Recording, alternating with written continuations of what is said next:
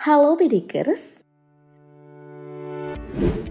Persaingan antara Indonesia dengan Malaysia bukanlah hal baru. Persaingan ketat tak hanya terjadi di ranah sepak bola, tapi juga di lini bisnis minyak dan gas. Di Indonesia ada PT Pertamina, sedangkan Malaysia berjaya dengan Petronas. Menarik untuk melihat bagaimana peta persaingan kedua BUMN ini. Siapa yang lebih unggul? Mari kita bongkar.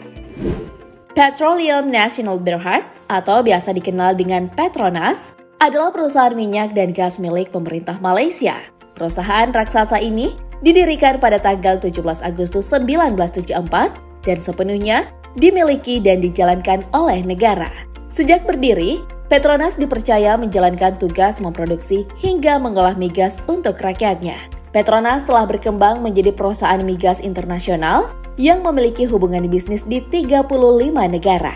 Badan usaha milik negara ini berada di antara perusahaan-perusahaan raksasa dunia dalam daftar Fortune Global 500. Pada tahun 2019, Petronas menduduki peringkat 158 naik dari posisi 191 di tahun 2018. Sedangkan PT Pertamina menjadi satu-satunya perusahaan Indonesia yang masuk dalam daftar Fortune Global 500 tahun 2019.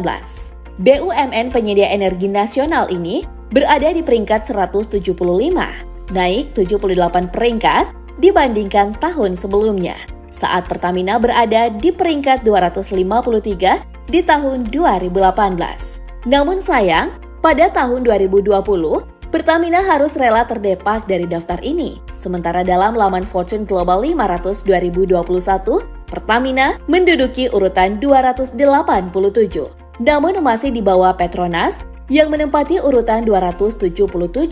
Melihat sejarah Pertamina yang didirikan sejak 10 Desember 1957, perusahaan minyak dan gas ini belum pernah sekalipun mengalahkan Petronas dalam daftar Fortune Global 500. Sejak awal tahun berdirinya, Pertamina telah berganti nama sebanyak tiga kali dan hingga kini telah menghasilkan tujuh jenis produk yang berbeda.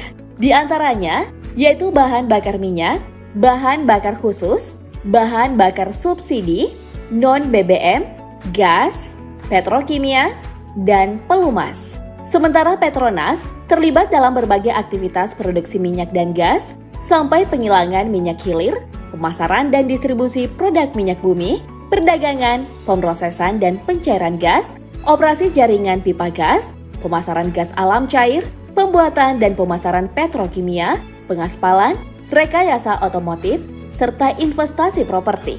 Dari berbagai jenis produksinya ini, lagi-lagi bisa dibilang Petronas mengalahkan Pertamina. Di sisi lain, aturan yang berlaku di tanah air juga membuat Pertamina kalah jauh dari Petronas. Hadirnya Undang-Undang Migas membuat fungsi sebagai regulator dan eksekutor yang dimiliki Pertamina telah berubah. Kini Pertamina hanya bertindak sebagai eksekutor atau pemain, sementara regulator diambil alih oleh Satuan Kerja Khusus Kegiatan Usaha Hulu Minyak dan Gas Bumi atau lebih dikenal dengan nama SKK Migas. Salah satu tugas pihak SKK Migas sebagai regulator adalah mencatat realisasi produksi siap jual atau lifting minyak dan gas bumi. Sampai dengan periode kuartal ketiga tahun 2021, hasil produksi Pertamina masih di bawah target yang ditetapkan sepanjang tahun ini. Berdasarkan data yang dipaparkan SK Kamigas, realisasi lifting minyak sepanjang Januari hingga September 2021 mencapai 661.100 barel per hari atau hanya 93,8 persen dari target yang ditetapkan dalam APBN 2021 yang sebesar 705.000 barel per harinya. Realisasi ini bahkan lebih rendah jika dibandingkan dengan tahun lalu yang mencapai 706.700 barel per hari. Angka ini belum mampu mengalahkan capaian produksi Petronas yang bisa menghasilkan lebih dari satu juta barel per hari. Padahal, jumlah sumur milik Pertamina jauh lebih banyak dibandingkan Petronas. BUMN migas kita mempunyai total 148 sumur, sedangkan perusahaan migas negeri tetangga hanya 10 sumur. Bicara soal perusahaan minyak kelas dunia, tak perlu jauh menengok ke Amerika atau Arab Saudi yang sudah dikenal sebagai rajanya – cukup mengintip pencapaian kinerja perusahaan migas negeri tetangga. Kalau dibandingkan dari segi laba, Perusahaan minyak nasional Malaysia, Petronas, tercatat mengalami rugi bersih 21 miliar ringgit atau hampir 74 triliun rupiah untuk tahun buku yang berakhir pada 31 Desember 2020. Petronas mengumpulkan pendapatan sebesar 58,02 miliar dolar setahun dalam pendapatannya. Jumlah ini hampir menyentuh angka 900 triliun rupiah.